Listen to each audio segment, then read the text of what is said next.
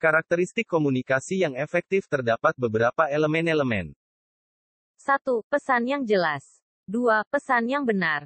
3. Pesan lengkap. 4. Pesan tepat. 5. Keandalan. 6. Pertimbangan penerima. 7. Senders courtesy.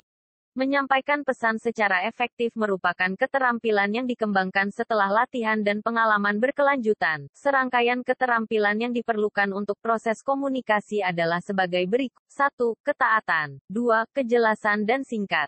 3. Mendengarkan dan memahami. 4. Kecerdasan emosional. 5. Self-efficacy. 6. Percayakan diri.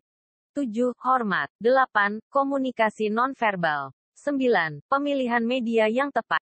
Adapun peran komunikasi efektif dalam bisnis di antaranya 1.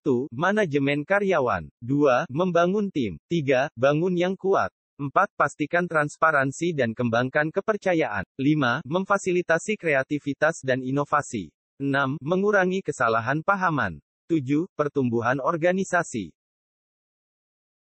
Terdapat juga kendala atau hambatan dalam proses komunikasi efektif. Hambatan dikategorikan dalam tiga kelompok adalah sebagai beri. 1.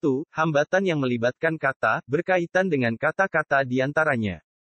1. Bahasa. 2. Ambiguitas dan penggunaan abstraksi yang berlebihan. 3. Pesan yang tidak terorganisir. 4. Kelebihan ini. Hambatan yang melibatkan latar belakang orang di antaranya. 1. Perbedaan sikap. 2. Perbedaan demografis. 3. Kurangnya pengalaman, perspektif umum. 4. Melompat ke kesimpulan. 3. Hambatan fisika. 1. Jarak fisik. 2. Kebisingan. 3. Hambatan fisiologis.